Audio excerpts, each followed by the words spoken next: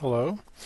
Uh, we are going to do a review of grade 11 chemistry. This is going to be probably a three to four part series.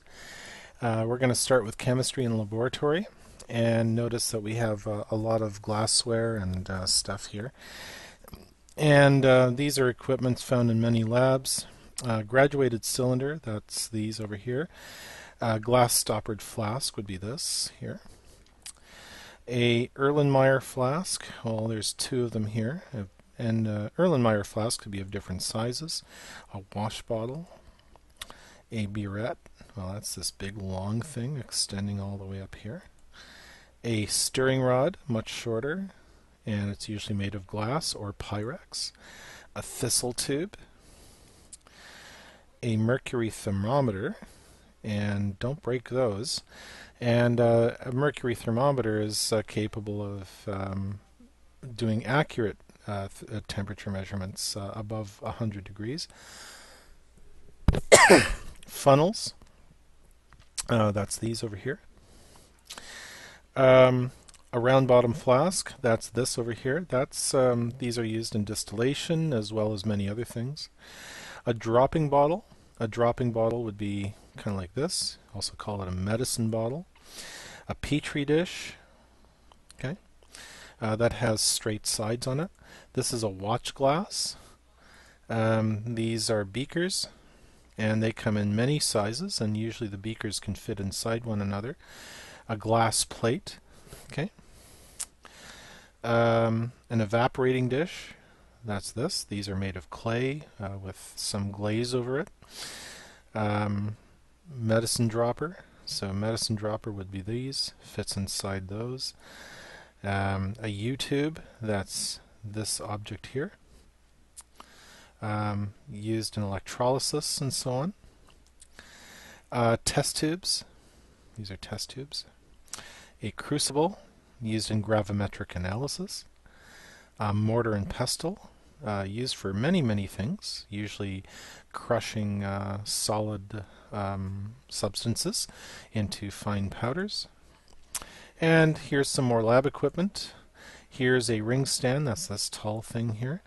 A burette clamp, that's uh, this over here. A clay triangle, that's this object here. A ring, which is what the clay triangle is sitting on. A filter rack, that's this object here uh, for carrying filter paper and drying it. Wire gauze, that's this here, which is sitting on top of a tripod. And um, the tripod um, actually serves the same purpose as this ring stand, uh, or as the ring, um, in that you can just lower it on top of the Bunsen burner, and whatever's sitting on top of the ring can be um, can be uh, heated up. And uh, you can certainly put a a um, um, you can do exactly the same thing over this tripod with a wire gauze. Usually though, if you are putting an Erlenmeyer flask with some water in it and you're trying to boil water, uh, the best thing to do is always use a um, use a wire gauze or something like something like this and what it does is it spreads the heat throughout the glass so that parts of, so you don't have this problem where parts of the glass expand and some parts don't and what ends up happening is that you shatter the glass and you have broken glass all over your desktop you don't want that. So good thing to have the wire gauze it uh, it spreads the heat out uh, from the Bunsen burner.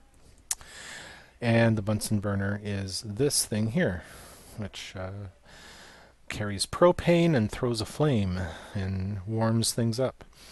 A ring stand base. Ring stand base, that's what the Bunsen burner is sitting on. Triangular file.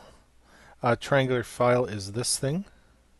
Okay, it's just like a like a file. It just uh, smooths things out like a sand, like sandpaper. A flame spreader is used for spreading out a flame, quite often used in bending glass and so on.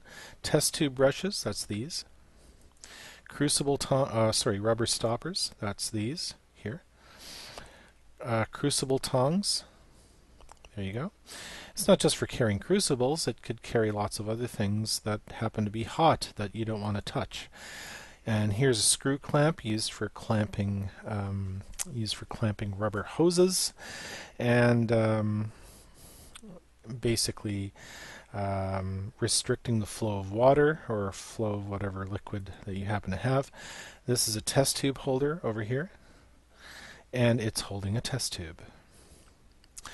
And that's chemistry in the laboratory. I'll be back with more.